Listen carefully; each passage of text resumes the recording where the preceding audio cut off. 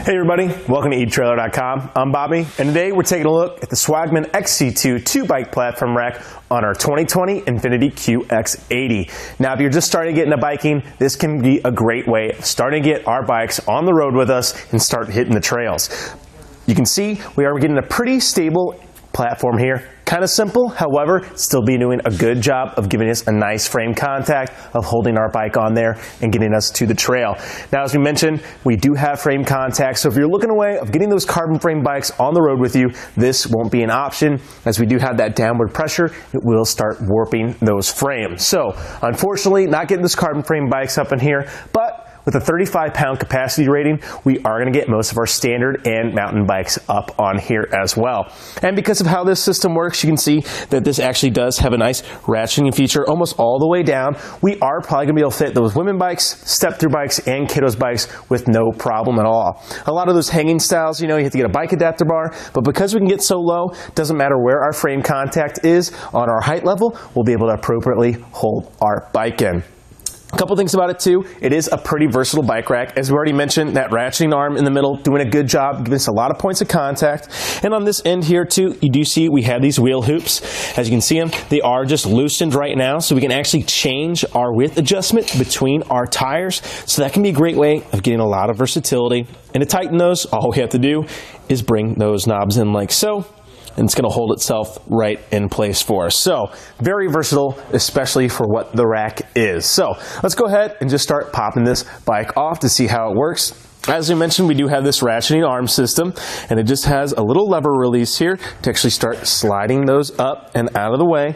I just like setting them on the hooks, kind of gets them appropriately out of there for us. And taking a look on this one, we make sure we have a good hand on our frame. We don't want this tilting into our vehicle and causing any kind of damage.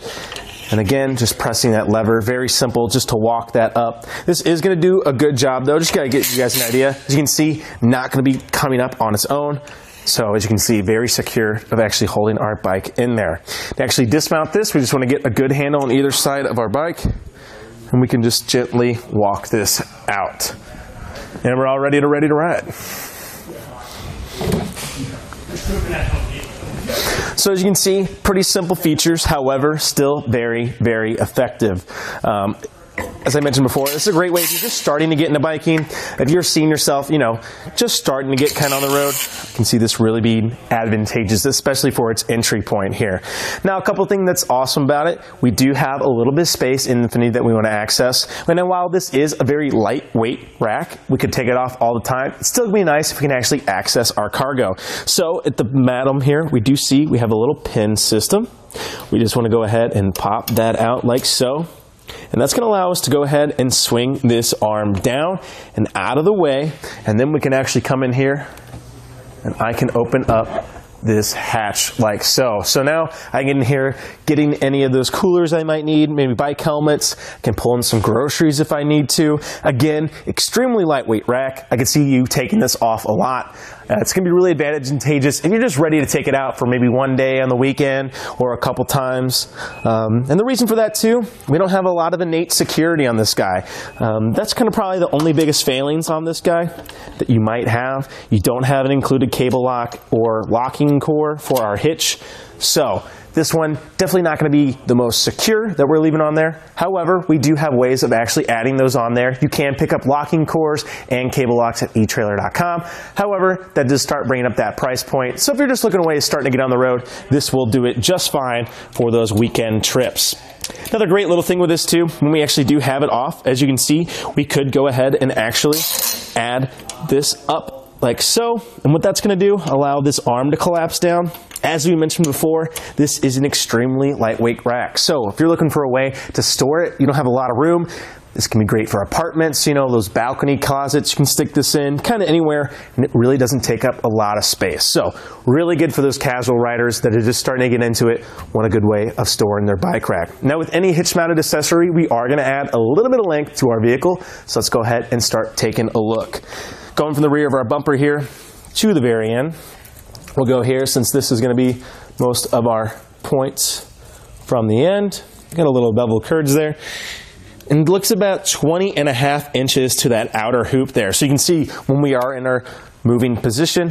Going to be adding a little bit of length. Now we are in Infiniti, so we already do have a little bit of length, but definitely not going to be too crazy for us. Unfortunately, we don't have a way of actually condensing that down other than pulling these wheel hoops in. That's the only maneuverability we're going to get. As you can see though, that is actually saving you a lot of space. It's definitely if you got to pull this in, trying to get in some tight parking places. This can be an easy way.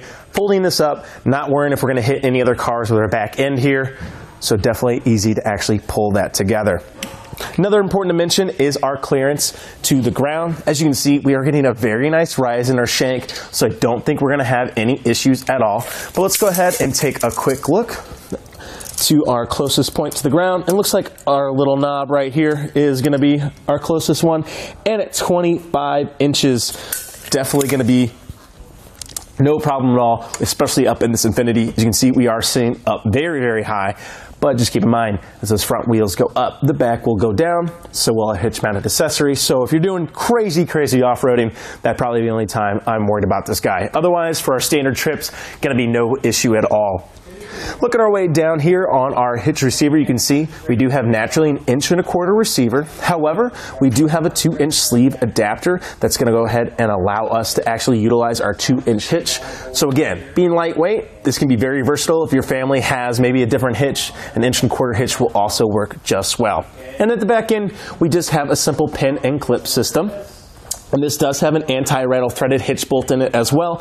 So you can see as I'm shaking this, this is going to get in line with our frame. going to bring it to one system. That's going to make for a nice smooth ride for ourselves, our bike racks, and our bikes. So pretty standard across the industry, but always nice to see it. Again, like we mentioned though, no locking core. So that's kind of the disadvantage of this guy. You know, you're getting a great entry point. However, you're not getting all those bells and whistles that you might see on some of those higher end models. However, again, if you're looking just to really start getting riding every weekend or so, this can be a great option. Can't really beat how that economy option works for us. As you can see, going to be doing a nice stable job getting those bikes on the trail with us. Well, I think that about does it for our look at the Swagman XC2 on our 2020 Infiniti QX80. I'm um, Bobby. Thank you for watching and check out some test footage.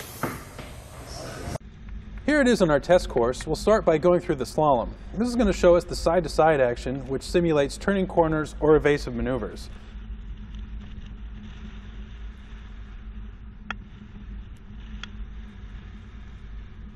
Next, we're at the alternating speed bumps, which will see the twisting action. This will simulate hitting a curb or pothole or driving over uneven pavement.